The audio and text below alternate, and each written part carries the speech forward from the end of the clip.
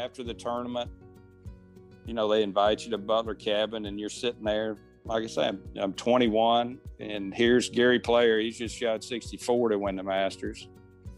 Tom Watson, they won in the year before, has just finished second. He's sitting there. Rod Funseth tied for second. Great player.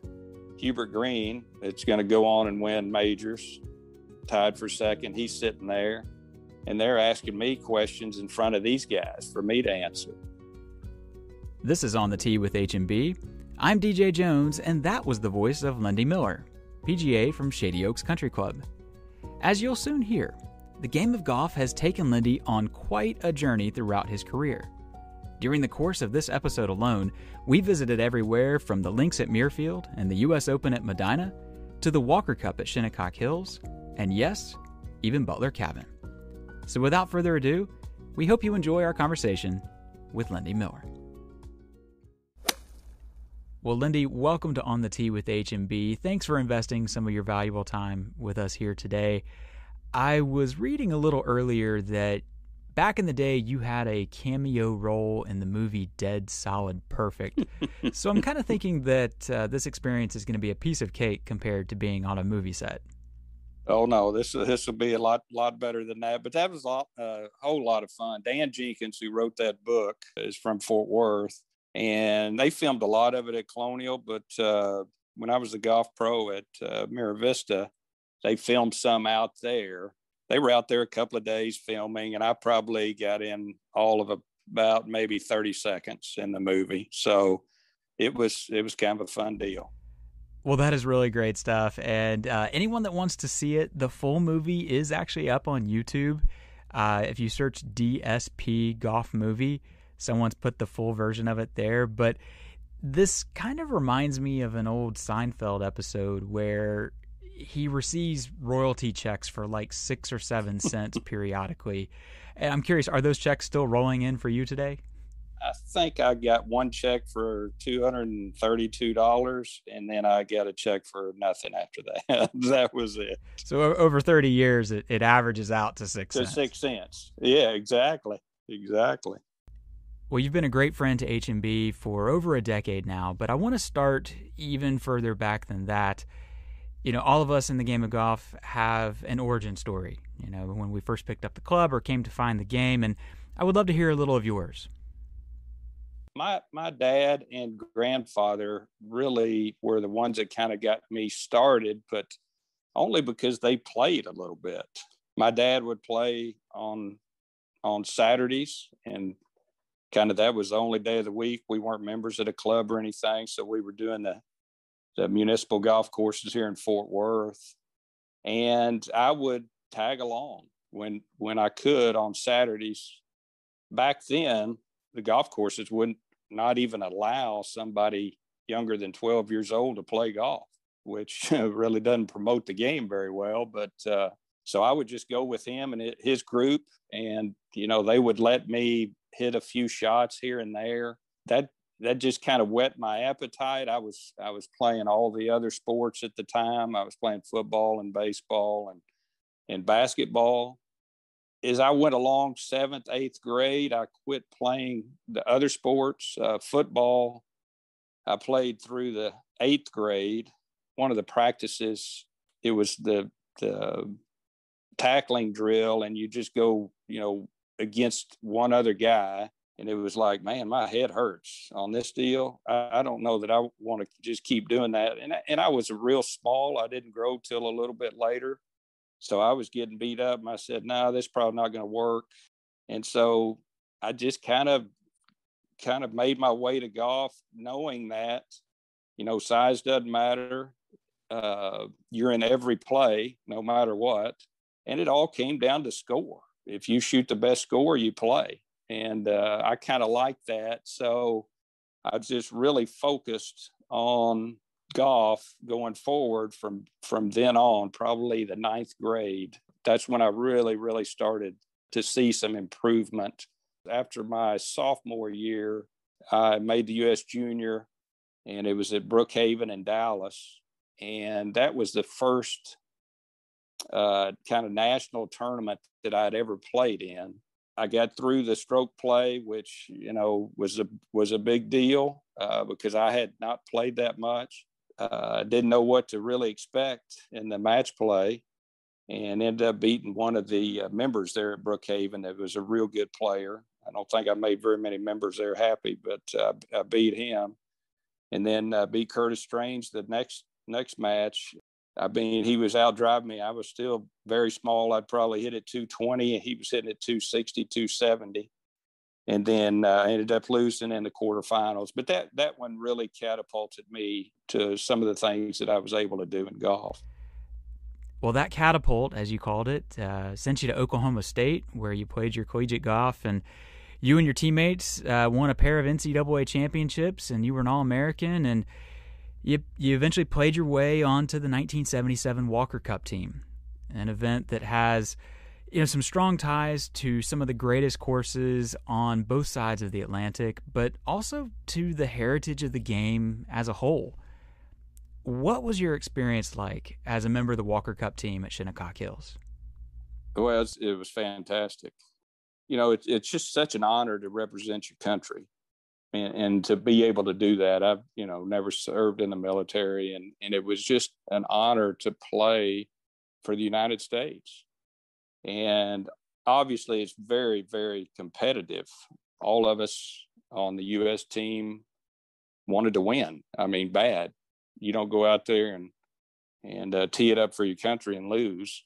I mean everybody was excited and it's it's kind of nerve wracking. You you think about who you're playing for, but you know you have a special bond with those team members, uh, just like NCAA and and uh, at Oklahoma State. You know those those guys are best friends. We're best friends for life. You know, going back to to Shinnecock, opening ceremony, you're standing on top of that hill, that that uh, great clubhouse there at Shinnecock. You know, it's hosted so many events now and you're standing up there and and uh, opening ceremony and they're raising the flag for your country and it just sends you know goosebumps still.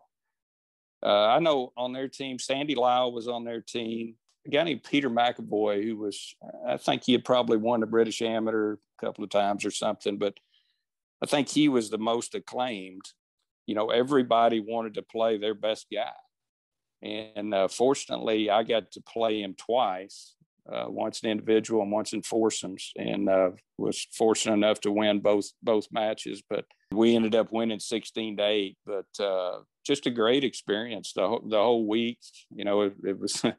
it's it's a lot more fun when you win, obviously, but just going through that and uh, being a part of that for your country, there's it's hard to explain, but uh, really a special event for that week. Well, goosebumps for sure. I mean, just listening to you retell it, I mean, you painted such a clear picture. And I think all of us can imagine seeing the flag go up in front of the clubhouse at Shinnecock. And what an honor uh, that had to be. And sticking with the U.S. theme, if you will, um, as we're recording this, the U.S. Open is getting underway at Torrey Pines. You played in the tournament a half dozen times. What is it like standing on the first tee of the United States Open? Well, it's intimidating the first time.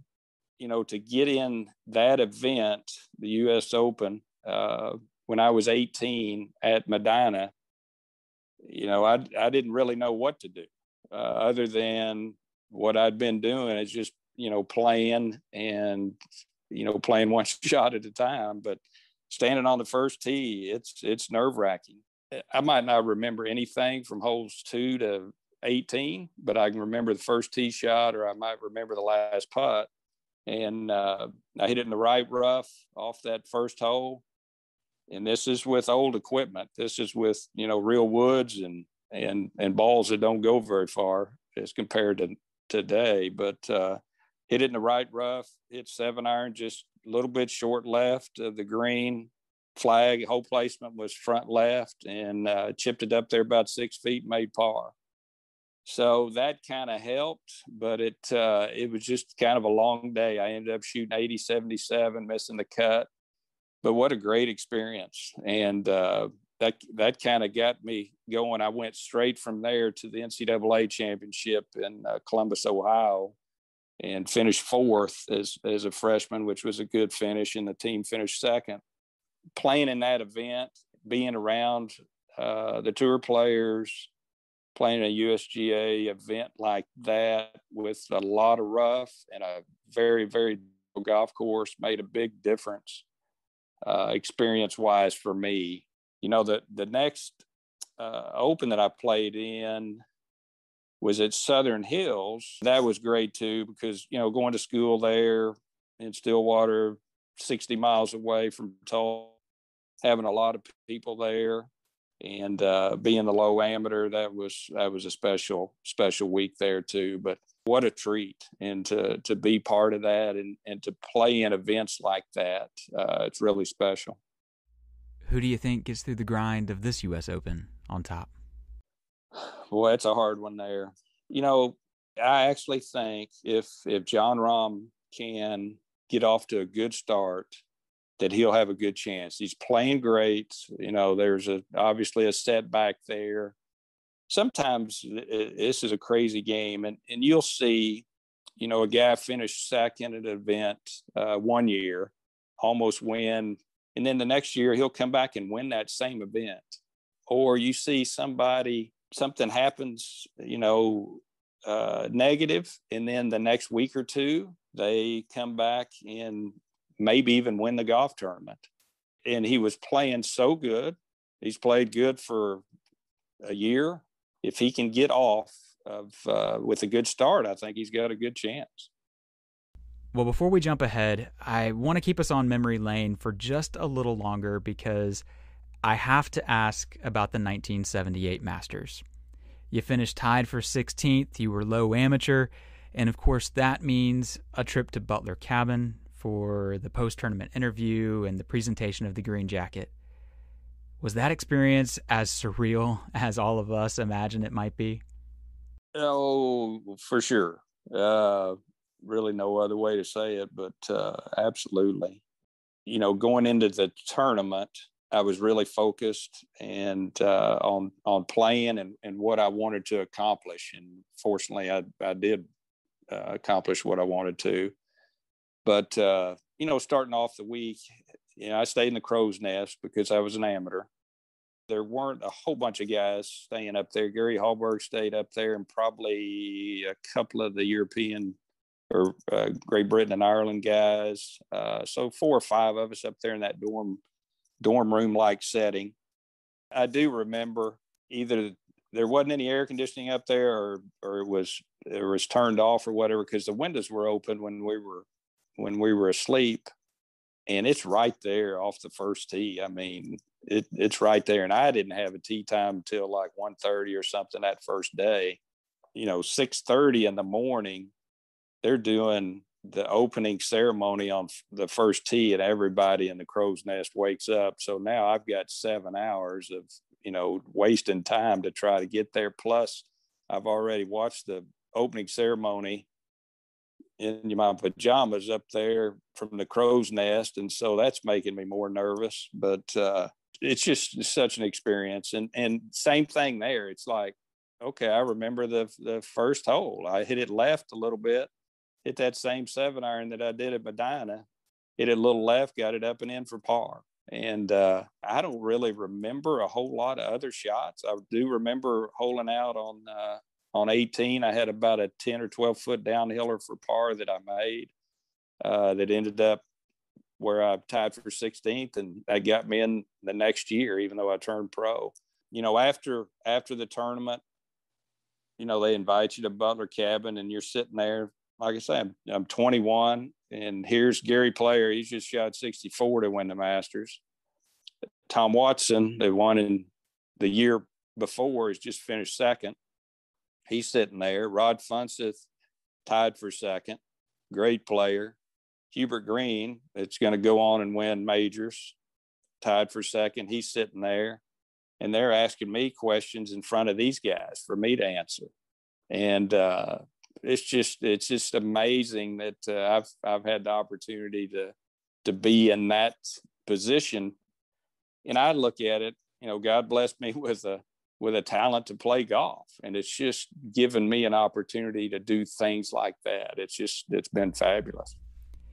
Well, as you may know, Augusta National has the final round for, I believe, all of the Masters tournaments available on YouTube. And so I pulled it up and watched, and I thought it was really neat that Arnold Palmer was the one doing the Q&A session there in Butler Cabin. We're so used to seeing uh, Jim Nantz handling it today, and I just thought that was uh, pretty cool to see, you know, golf's greatest showman, if you will, uh, running the show uh, there in Butler Cabin. Oh, for sure. You know, with with Arnold Palmer asking the questions, you know, how great is that? Uh, and being there at Augusta National, you know, just what an honor it was to to sit with him and and have him ask us the questions along with with all the other guys as well.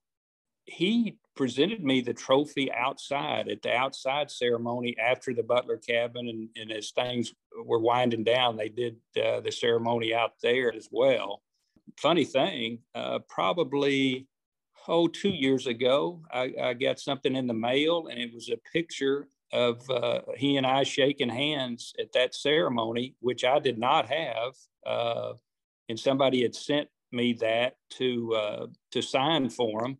So I did that and sent it back and made sure with them that it would be okay to to reprint that for my records, and and uh, it was a real blessing and and to have that picture and just you know bring back those memories was fantastic. Well and just showing how everything kind of comes full circle in the game of golf and touching on that friends for life thing that you mentioned earlier your former walker cup teammate fred ridley is now the one handling that ceremony as chairman of augusta national absolutely and, and you know fred uh, actually when i was at uh, mira vista uh, country club here in Fort Worth, we hosted the U.S. Girls Junior, and and and Fred, I think, may have been president of USGA at that time, but he flew in, and I hadn't seen him in a long time, and and it was just great to to catch up. But uh, it, it does come full circle. It's it's it's an interesting game that we all love. Over the years, it just comes back to where we started from. It's it's pretty neat stuff. Well, fast forwarding more to the present day, uh, you spent many years at Mira Vista Country Club in Fort Worth, and now you're at Shady Oaks, a club that is perhaps best known for its ties to the great Ben Hogan.